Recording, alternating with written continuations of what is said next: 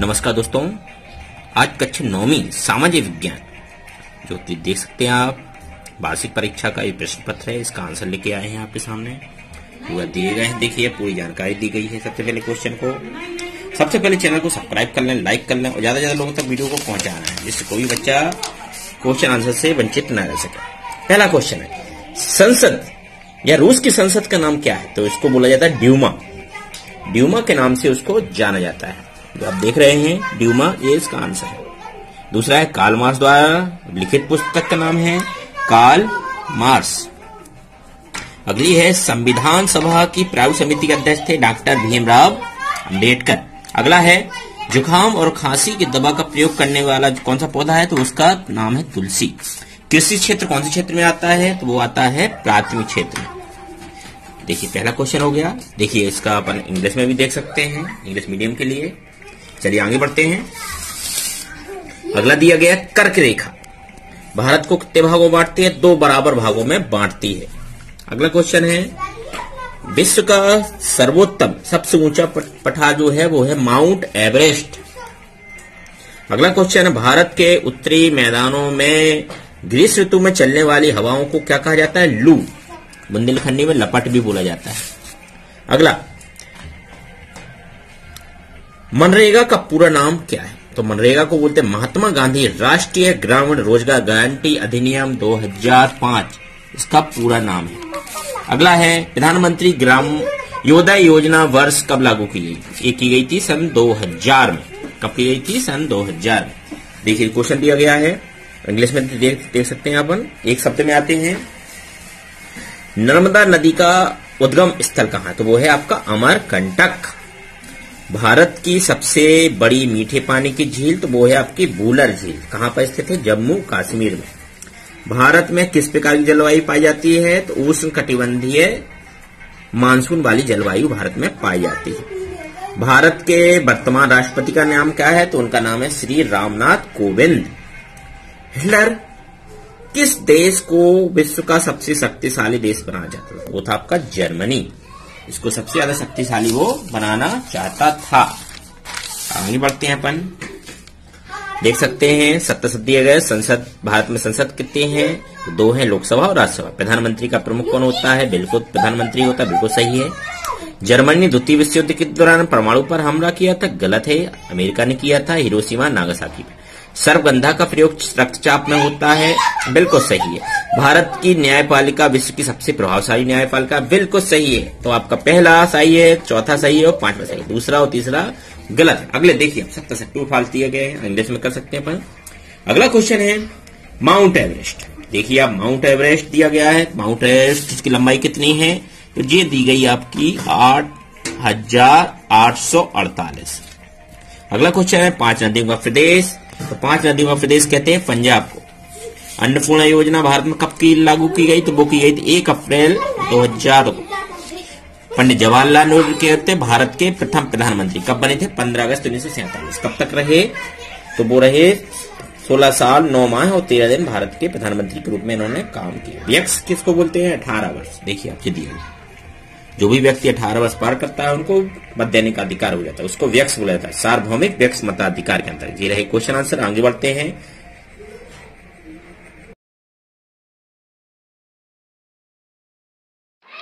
ये रहा छठवा क्वेश्चन आंसर। भारतीय मरुस्थल के दो बात, सर बातें बताना है। तो देख सकते हैं, आप पूरा नोट करना है। ज़्यादा ज़्यादा लोगों तक पहुंचाना है। भारतीय मरुस्थल के चार मरुस्थल के नाम भी जान जाना जाता है। यह अरावती की पहाड़ियों के दक्षिणी किनारे की ओर स्थित है। यह बालू के टिप्पों से भरा हुआ रेतीला मैदान है।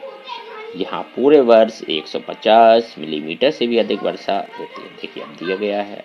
अर्धचंद्र चंद्राकार रेट के टिब्बे, जिन्हें वारकन कहा जाता है। देखिए पूरा दिया गया। भारतीय मरुस्थल की प्रमुख विशेषताओं में से एक। दो बातें आपको नोट करना है। ये छठवीं का आंसर है। दो में से एक करना है। तो अपन एक एक क्वेश्चन लेके चल रहे हैं।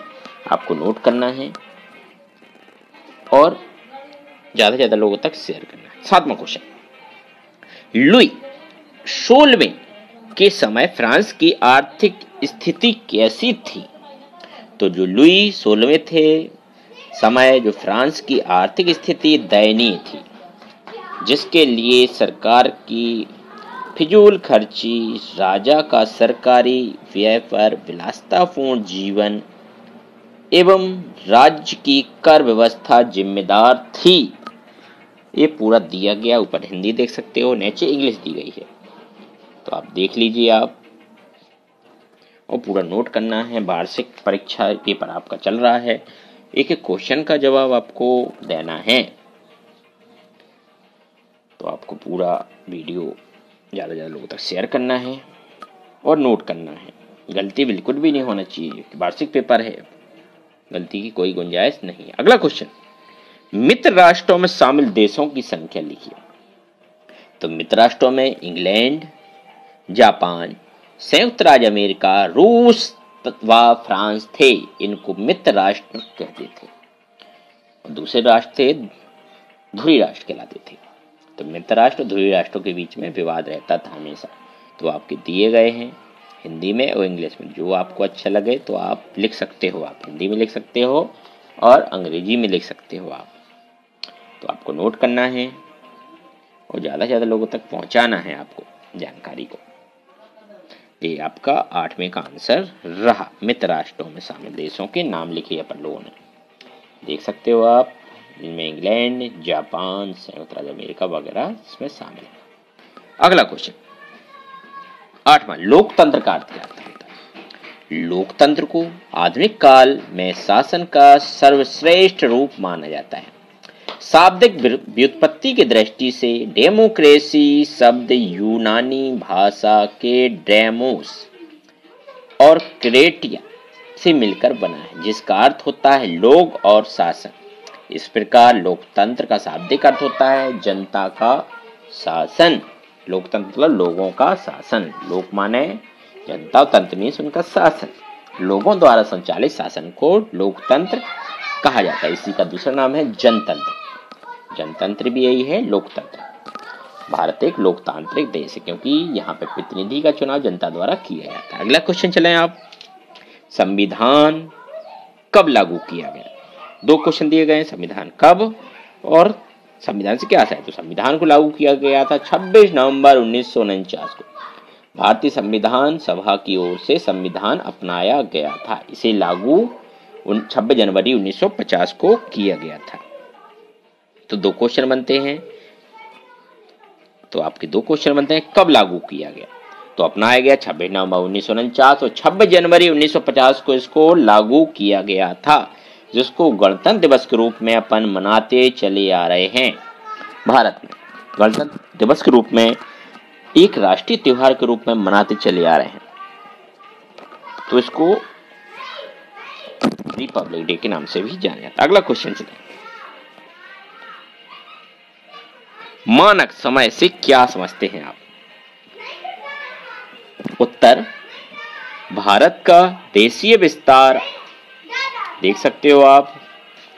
अड़सठ डिग्री सात अंश पूर्वी से संतानवे डिग्री पच्चीस पूर्वी देशांतर के मध्य लगभग तीस डिग्री स्थित है।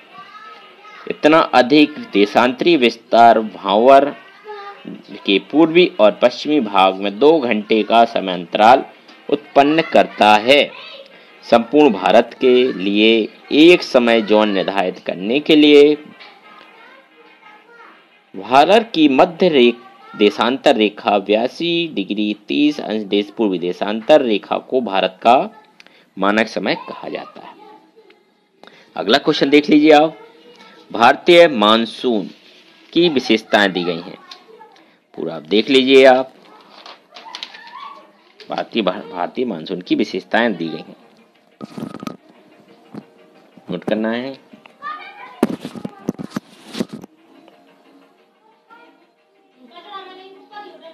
देख लीजिए आप।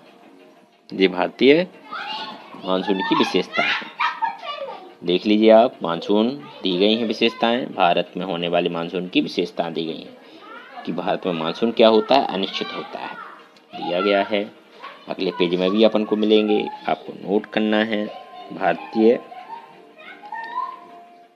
मानसून वर्षा की विशेषता। तीन लिखना है। अपन बहुत सारी दी गई हैं, देख सकते हैं आप। बहुत सारी दी गई। इसमें से तीन आपको परीक्षा में, कॉपी में लिखना है। विधवत क्रम से अपन को पेपर को हल करना है। देख लीजिए आप जो दिए गए हैं आपको। भारत के विभिन्न स्थानों में वर्ष प्रतिवर्ष प्राप्त होने वाली वर्षा की मात्रा में बहुत परिवर्तनशीलता पाई जाती है। ये पंद्रह परसेंट से अस्सी परसेंट तक होती है। मानसून में भारत में सभी भागों में एक समान वर्षा नहीं होती है अलग अलग क्षेत्रों में प्राप्त होने वाली वर्षा की मात्रा में भी अंतर पाया जाता है। मानसून और ग्रीष्मकालीन मानसून की अवधि में भी अंतर पाया जाता है। ये इसमें अंतर अंतरपन देख सकते हैं आप, लिखना है, नोट करना है, तीन चार दिए गए हैं आपको। तो आपको जो अच्छी लगे, वो आप नोट कर लीजिए कॉपी में लिखना है। गलती की गुंजाइश बिल्कुल भी नहीं है। गलती ना करें। गलती करने की गुंजाइश नहीं है। अगला क्वेश्चन देखिए, फ्रांसीसी समाज में महिलाओं के जीवन स्तर के बारे में इसमें क्वेश्चन दिया गया। दो में से अपन एक क्वेश्चन ले रहे हैं कि फ्रांसीसी समाज में अहम परिवर्तन लाने की गतिविधियों में महिलाओं का योगदान सबसे महत्वपूर्ण था। उन्होंने अपने हितों की हिमायत करने फ्रांस के विभिन्न शहरों में लगभग 60 राजनीतिक क्लब शुरू किए थे। उनमें दक्षिण society of revolutionary and republican women सबसे मशहूर क्लब था। उनकी एक प्रमुख मांग यह थी कि महिलाओं को दिया गया है। पूरा देख लीजिए आप। अगला क्वेश्चन की ओर चलते हैं। कुलक किसे कहते हैं? कुलक। देख सकते हैं आप, हिंदी देख लीजिए और इंग्लिश भी देखना है। रूस में जो किसान अच्छी हालत में थे, उनके नाम जो प्रयोग में लाया जाता था, स्टालिन ने क्लास के दौरान आधुनिक खेतों के विकास हेतु उन्हें उद्योगों की भांति मशीनों से कमाने के लिए का आवश्यकता समझा गया। पूरे रूस में कूलर को समाप्त कर दिया गया था। ये रहा क्वेश्चन आप, नोट कर लीजिए आप।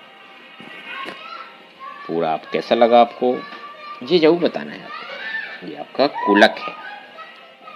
अगला क्वेश्चन है, वन। वनों का महत्व। वन हमारे लिए क्यों महत्वपूर्ण है? देखिए, निम्नलिखित है। ये वातावरण को संतुलित बनाए रखते हैं। ये वर्षा को नियंत्रित करते हैं। ये भूमि कटाव, बाढ़ नियंत्रण को नियंत्रित करते हैं। ये प्रदूषण को भी नियंत्रित करते हैं। वनों से हमें पादक उत्पादक और औषधियाँ भी प्राप्त होती हैं। तो वन हमारे लिए जीवन रेखा का काम करते हैं। वनों से ही अपन को ऑक्सीजन प्राप्त होता है। फर्नीचर प्राप्त होता है, घर में आधा बना सामान वनों का होता है। अगला क्वेश्चन दिया गया है। अगला क्वेश्चन देखिए अब नाथसी सोच में के खास पहलू क्या थे? देख लीजिए आप नाथसी श्रेष्ठता की भावना। अयोध्यों का विरोध, पूरा क्वेश्चन अब दिया गया है नोट कर लीजिए आप। चार पॉइंट दिए गए हैं, इसको नोट कर लें आप। फिर आपके सोलह क्वेश्चन इसमें रहे। सोलह क्वेश्चन ये आपके जो रहे। तो आपको देखिए, अगला क्वेश्चन है।